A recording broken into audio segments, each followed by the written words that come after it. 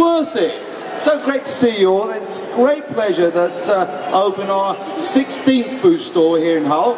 I'm going to be at the back there, so if you want to come in and say hello and have a photo, you're more than welcome. And uh, I hope you enjoy the shop, ladies, and of course, gentlemen.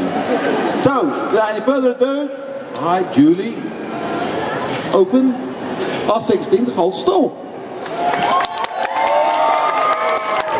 Please come in.